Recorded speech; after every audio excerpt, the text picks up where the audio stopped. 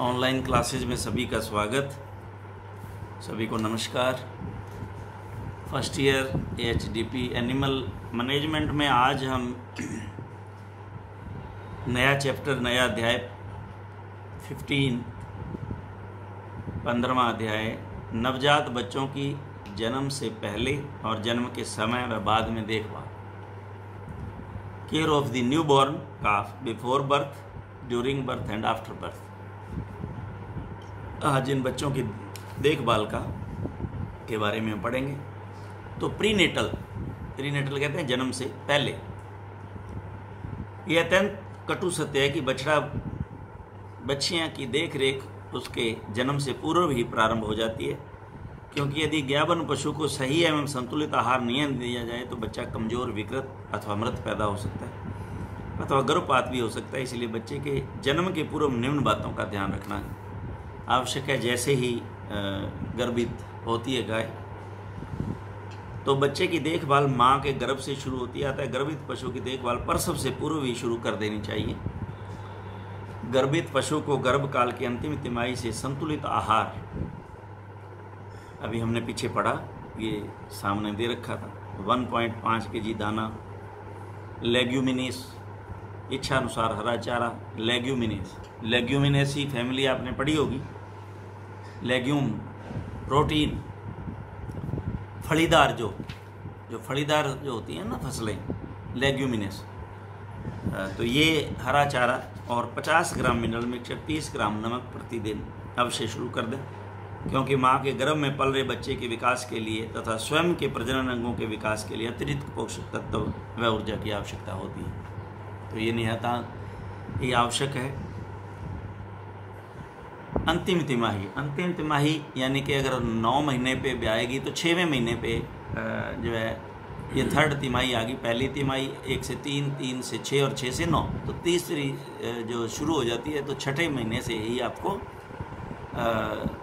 सातवें से, सात, आठ, नौ, सातवें महीने में छः छः पूरा होने पर आपको सातवां, आठवां, नौवां, उसमें आपको इसकी खुराक का विशेष ध्यान देना चाहिए। और आम लोग ध्यान देते हैं, ऐसा कुछ नहीं, सबको जानकारी है। पशुपालकों को इसका रखते हैं, लेकिन जो नहीं ध्यान में रखता, उसके लिए आवश्यक है। गर्भित पशु को ज़्यादा दूर चढ़ने के लिए तथा उबड़ खाबड़ ऐसा समतल स्थान पर नहीं ले जाएँ न ही उसे दौड़ाएँ या बघावें अन्यथा उसके यूटराइन टॉर्शन हो सकता है। यूटराइन टॉर्शन ये शायद हमने इसको यूटराइन टॉर्शन आप अच्छी तरह से तो आगे पढ़ोगे, लेकिन इसको मैं समझा देता हूँ आपको। ये अवस्था जो है सेकेंड ईयर क्लास में गाइनोकोलॉजी में पढ़ोगे आप यूटराइन टॉर्शन क्या होता है? टॉर्शन कहते हैं घुमाव को।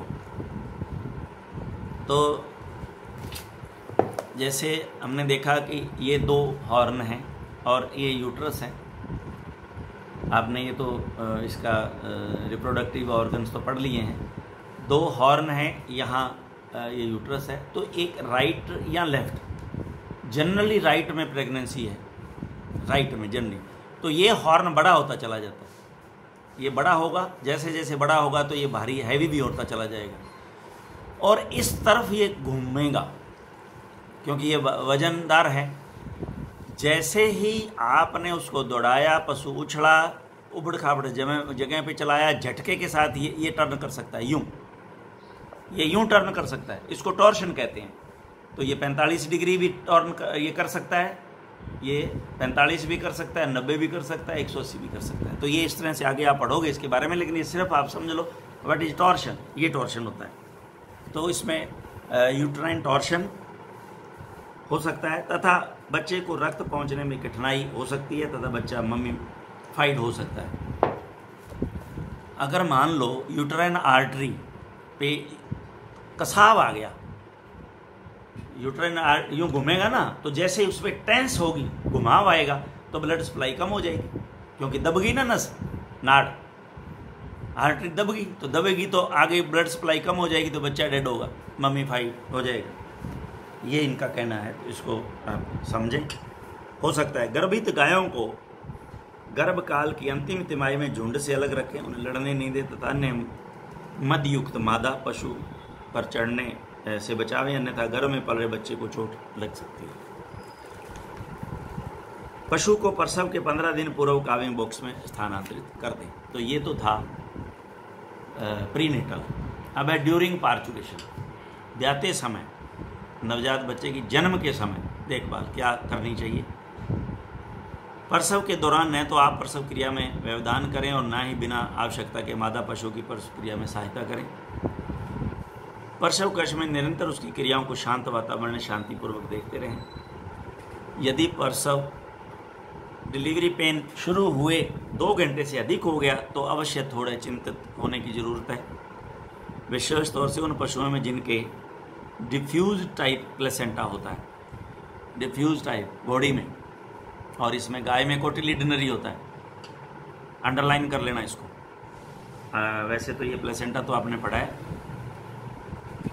डिफ्यूज टाइप प्लेसेंटा घोड़ी जैसे। क्योंकि उनमें बच्चे व माँ के प्लेसेंटा का संबंध जल्दी ही ढीला हो जाता है, जिससे बच्चे का रक्त संचार अवरुद्ध हो जाता है, तथा फोल घोड़ी के बच्चे को फोल कहते हैं। फोल को ऑक्सीजन की सप्लाई में व्यवधान हो जाता है, अतः शीघ्र पशु के प्रसव क्रिया में स्वयं अथवा चिकित्सक द्वारा सहायता अत्यंत आवश्यक है। गायों, भैंसे में ऐसा कोई चिंता नहीं करें। बच्चे का प्रेजेंटेशन पोजीशन व पॉस्चर ये भी आप जो है वो आगे गाइनोकोलॉजी में इसका विस्तार से पढ़ोगे कि बच्चा जो है उसका जो मुँह पहले आया है, इसको यूँ समझ लो आप। मुँह आगे पहले आया हुआ है, या पूंछ पहले आई हुई है, पीछे वाला पोर्शन पहले है, पिछली टांगे हैं, या आगे वाली टांगे हैं। पोजीशन उसकी कैसी है? पोजीशन जो है वो कैसी है और पोस्चर कैसा है? कौन सी कोई टांग मुड़ी हुई है? सिर मुड़ा हुआ है? तो ये इस तरह का, ये सारी इसके बारे में आप जो है पूरी की पूरी कहानी जो है आप गाइनोकोलॉजी में सेकेंड ईयर में भी आप इसको अच्छी तरह से पढ़ोगे। तो ये उसका, बच्चे का प्रेजेंटेशन पोजीशन और पॉस्चर सामान्य नहीं हो तो तुरंत सहायता करें। उसे जितना जल्दी हो ठीक करके बच्चे को खींच कर बाहर निकाल दिया अन्यथा बच्चा मर सकता है। नवजात की जन्म के बाद देखभाल, प्री नो प्री नेटल नहीं ये पोस्ट नेटल है। पोस्ट नेटल है। नवजात की जन्म के बाद, देखभाल, पोस्ट नेटल पहला सबसे काम जो है, वो removal of mucus membrane from nose and mouth बच्चे के नाक से और मुँह से श्लेष्मा झिल्ली को आपने हटाना जो उसके ऊपर झिल्ली है, नाक पे और मुँह पे, उसको तुरंत जो है वो उसको आप हटाएँ। पशुपालन में कार्य करने वाले प्रत्येक व्यक्ति को पता होना चाहिए, जब तक बच्चा माँ के गर्भ में रहता तब तक बच्चे के फेफड़े कार्य नहीं करते। हैं बच्चे को ऑक्सीजन में भोजन माँ के रक्त से, बच्चे के नाल, यानी कि एम्बलाइकल, नेवल कोड कहते हैं जिसको, से ही मिलती है। जो ही बच्चा गर्भ से बाहर आता है नेवल कोड टूट जाती है, माँ के रक्त का संपर्क टूट जाता है जितना जल्दी हो जल्दी हो, ऐसा कार्य माँ तथा पशुपालक पशुपालक करे कि बच्चे की श्वसन क्रिया शीघ्र चालू हो जाए और इसके लिए निम्न कार्य करना ज़रूरी है। जहाँ तक हो, जल्दी बच्चे के थूथन से, श्लेष्मा नाक से, मजल से, म्यूकस जिसे फ्लैगम भी कहते हैं, इसको तुरंत हटा देवें। साधारणतः बच्चे के जन्म के तुरंत बाद उसकी माँ चाटने लग जाती है, जो श्वसन क्रिया व रक्त संचरण को प्रेरित करता है। ये ज़रूरी है स्टिमुलेट करता है।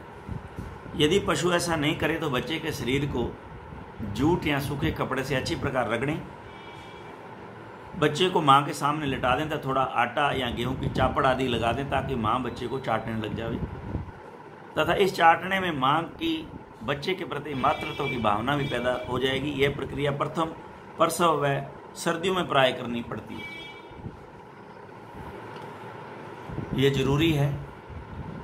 कई बार जो है माँ गाय जो है बच्चे को नहीं चाटती तो फिर बाद में बड़ी समस्या आती है, क्योंकि वो फिर बाद में दूध भी नहीं उसको चूंगने देती तो समस्या खड़ी हो जाती है लेट डाउन में। फिर वो पाउसती भी नहीं है तो ये बड़ी समस्या है तो ये छोटा सा काम है। उसको किसी तरह से बच्चे को चाटने के लिए हमने चाटने पे लगाना है उसको, कि वो चाटे। कई बार ऐसा फ़ील्ड में देखने में आया है कि जब माँ ने बच्चे को नहीं चाटा, यानी गाय ने तो बच्चे को बच्चे को तो क्या होता है कि बाद में समस्या लेट डाउन की वहाँ आई है। और अगर वो उसको चाट लेती है तो ये मात्र तब उसमें पैदा होता है तो उससे क्या होता है कि ये सारे एक्शन लेट डाउन अपने आप ही होता है।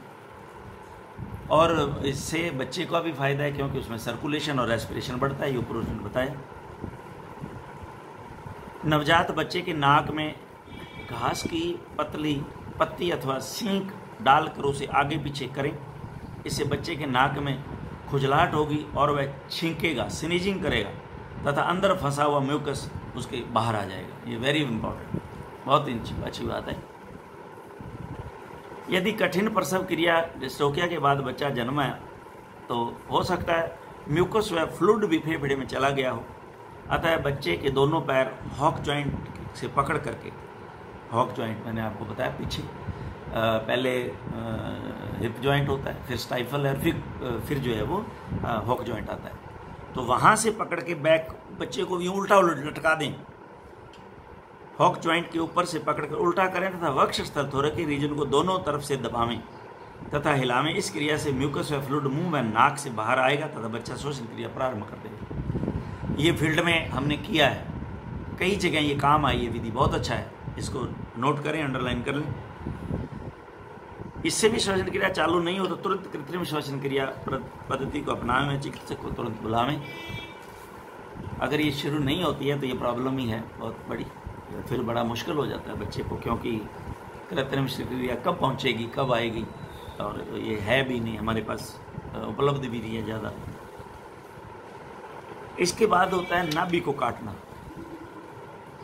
कटिंग ऑफ़ नेवल या एम्बलाइकल कोड काटना। बड़ा इंपॉर्टेंट बिंदु है ये, और ये पूछा भी जाता है। अम्बलाइकल कोड को दबाकर उसके अंदर का पदार्थ बाहर निकाल दें, तथा इस कोड को शरीर से दो से तीन सेंटीमीटर दूरी, दो से तीन सेंटीमीटर दूरी पर बाँध दें, यानी तो टॉर्निक्विट कर दें, तथा इसके एक सेंटीमीटर नीचे से जीवाणु रहित ब्लेड से उसे काट दें। अब आप ये समझे कि नहीं, मेरी बात को दो से तीन सेंटीमीटर नाभि से छोड़ें उसको। दो से तीन सेंटीमीटर नाभि से। ये नाभि है, मान लो तो या दो से तीन सेंटीमीटर आपने छोड़ दिया। अब यहाँ से इसको बाँध दें और फिर एक सेंटीमीटर फिर छोड़ के आगे से इसको काट दें। यानी कि इतनी जगह फिर छोड़ें आप। कई बार तो क्या करते हैं कई बार क्या करते हैं कि उसको दूरी से ही पकड़ लेते हैं और वहाँ जो है एंटीसेप्टिक लगा करके एकदम स्टलाइज ब्लेड से उसको काट के और उसी को पकड़ के उसी की गांठ दे देते हैं। मैंने देखा है गाँव में उसी की, उसी को पकड़ा, बाकी एक्स्ट्रा कोई धागा है वो नहीं लेते हैं। इसकी समझ गए, ये एक यूँ रस्सी समझ लो उस कोड को तो उस रस्सी की एक गांठ लगा देते हैं, यूँ यूँ करके गांठ गांठ लगा देते हैं। मतलब ये है कि यहाँ का ब्लड जो है, वो अब बाहर नहीं जाए इसको रोकना है। कुल मिला के ये बात सिर्फ़ ब्लड नहीं चले बस। इसको, ये रुक जाएगा। तो इसको एक सेंटीमीटर आगे, जहाँ से आपने टॉर्निक्विट को एक सेंटीमीटर आगे से काट दें। यहाँ इसको, यहाँ बराबर जो है पाँच या छः सेंटीमीटर से इसको काट के और इसकी एक गांठ वहीं उसको गांठ लगा दें। ऐसा भी है। जहाँ कट काट काटा है आपने, वहाँ टिंचर आइडिन के विलियन में, या पोविडिन लगा दें, टिंचर आइडिन लगा दें नाभि के संक्रमण से नेविल इल नामक रोग हो जाता है, अगर आपने इसको सही नहीं किया। तो नेविलिल नेविलिल क्या होता है? नाभि का सूज जहाँ रस्सी पड़ जाती है उसमें, नीचे गांठ बन जाती है तो ये ऐसे केसेज बहुत आते हैं हॉस्पिटल्स में। अब इसके बाद उसको आप खींच पिलाना। खीस पिलाएँगे अब आप उसको। फीडिंग फीडिंग ऑफ़ कोलेस्ट्रम खीस कोलेस्ट्रम जन्म के बाद माँ के चारों तरह में कुछ दूध बाहर निकालकर, नवजात को माँ का प्रथम दूध, जिसे खीस कहते हैं, तुरंत जेल गिरने से पहले ही एन व थनों को साफ़ करके पिला देना चाहिए। अब इस खीस के फ़ायदे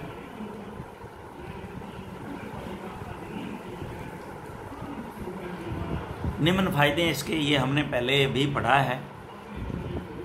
खीस में वाई ग्लोबुलिन प्रोटीन जो इम्यूनिटी देता है, देखिए।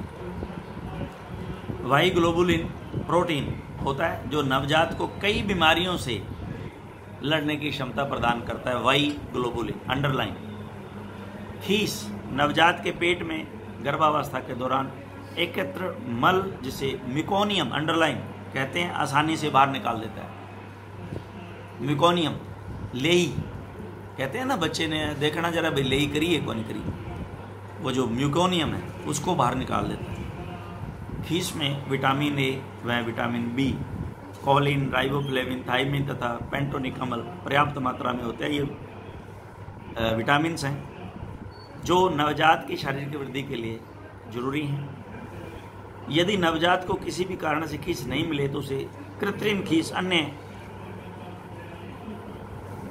अन्य जो अभी तुरंत ब्याई हुई अन्य मादा, उसका दूध भी अवश्य पिलावें। और अगर ये भी अवेलेबल नहीं है तो फिर आर्टिफिशियल खीस जो है तैयार किया जाता है। ये बनावें और ये उसको पिलावें। तो इसके बारे में हम का चर्चा जो है वो नेक्स्ट हमारे लेक्चर में करेंगे। Thank you very